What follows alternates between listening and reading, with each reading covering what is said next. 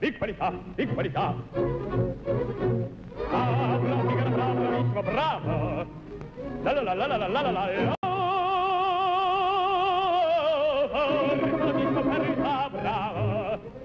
Мүслім магомаев сиқырлы да ғажайып есім.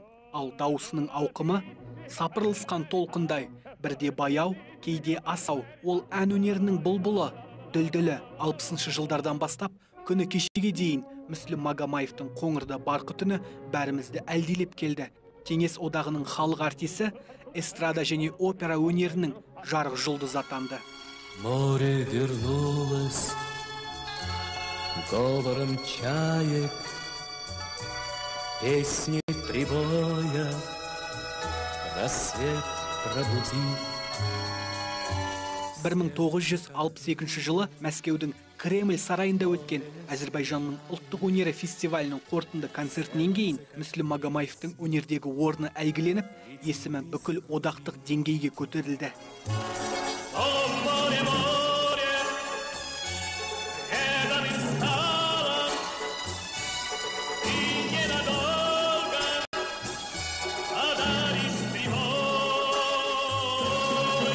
Мүслімнің дауысы ашық құлаққа жағымды драмалық баритон немесе бас баритон. Ол тек ән айтып қана қоймай даусының мүмкіндігіне қарай керемет үндерді де сызылта білді.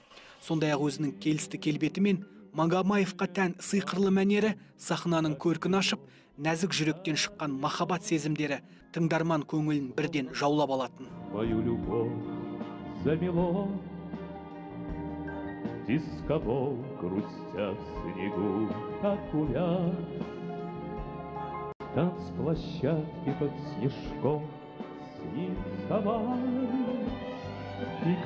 денесінің сымбаттылығы басқаларға ұқсамайды. Көкірегі көтеріңкі бойшаң шашы сүмбіл жанары мейірімді. Сырбазда көрікті жанға талай бой жеткендер ғашық болғаны жасырын емес. Бірақ кербез жігіттің көңілін аулау әлдекімдердің қолынан келе бермегені ақиқат. Лечу с снова. Я лечу и одно слово я кричу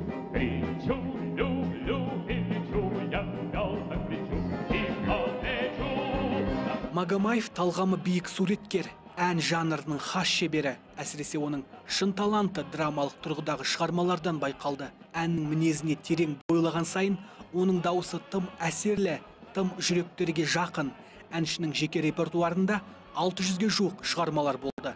Негізінен классикалық орысша романстар эстрадалық және неаполитандық туындылар қамтылған. Оның соңғы орындаған әні қош бол баку деп аталады. прощай,